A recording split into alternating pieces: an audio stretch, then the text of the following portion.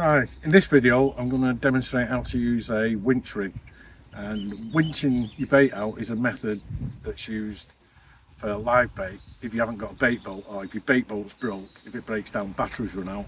I always have one of these with me. Um, this is a Greys Prodigy, probably the most expensive rod going for a winch rod, uh, courtesy of a carp angler that couldn't land a catfish. So what I've done is I've cut the top end off cut the all the top end off there just leave a little bit of gap between where it's it's on where the eyes are. I've got about I think this is 10 pound line cheap reel. As long as you've got any cheap rod any butt end rod it doesn't matter. I've got a poly ball and a piece of wood wedged in just in case it all snaps off it'll come free. I've then got a bead and a swivel. And then I put a clip on it what I'm going to do now with the help of Chaz is get demonstrate how it actually works.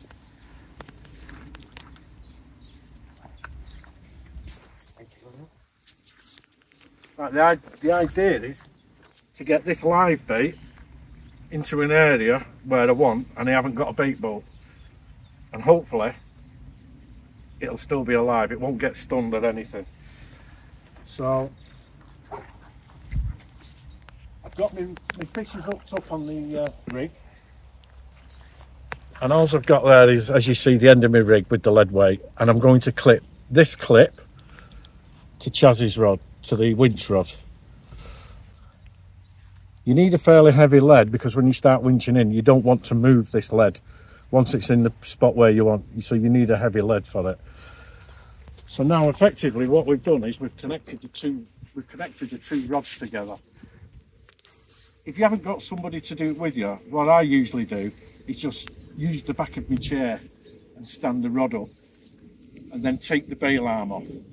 So if you can stand over there as far as you can please, Then take the bail arm off. Then keep the bail arm of the, the winch rod off.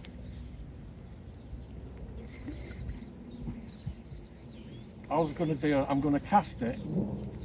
Oh, before I do cast, depending on the direction of the wind, if the wind's blowing from left to right, then the winch rod needs to be on the right because the line will blow and it'll bow out. You don't want to get them tangled. You need to try and keep it in a V shape if you can. If it's blowing right to left, then the winch rod goes on the left. We're fortunate today there's no wind out at the moment. So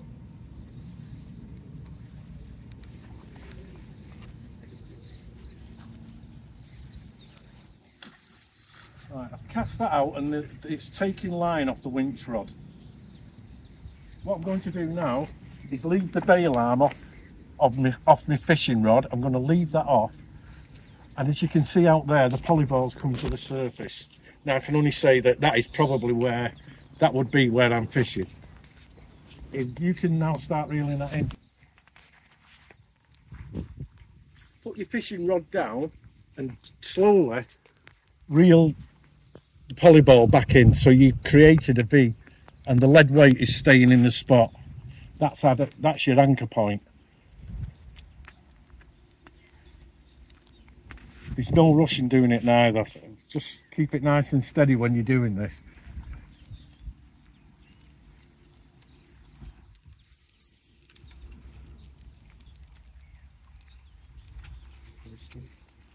Right, so we've got the rig back oh, we've got the end of my line back, my fishing line. It's just slightly tangled, but as you can see, it's not a problem. Now what I'm going to do is take, separate the rods. Now you can put the winch rod to one side, you don't need that now. Take your live bait rig, I'm using a polyball rig. so therefore I've, now now what's happened is I've taken it off the winch rod and clipped it and I always use a clip on for these winch rod when I'm using a polyball if I, if I need to winch. Um, put that in the water and then with the rod that I'm fishing with I'll just gently start reeling the line back in. Now I've got to be really gentle here because you've got weight on it now with the fish and the polyball And as you can see, if I hold, hold it over to the right, and I'm trying to keep a V as much as I can. If we had more room, I'd step further to the right, but I haven't. And just gently reel it out. Now this bait has been out before, so he's not that lively. If it was a, a fresh bait, you'd see him bobbing up and down once he gets to where I cast it out to.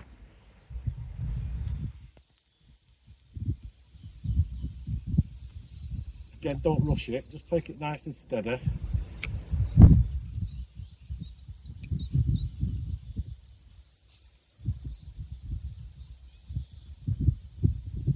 Right, that's, he's there now, he's at the point you can see when I start pulling his dipping. So that's where I'll be fishing with my live bait. So what I'm doing now is, I'm just going to reel it down, set the rod up as normal. I've taken it up to the surface. Now I'm just going to lower it down a little bit now. So he's probably mid-water now. And that's it. That's that's how to winch a live bait out without stunning it or killing it. Um, thanks for watching. I hope you've learned something and thanks very much. Cheers.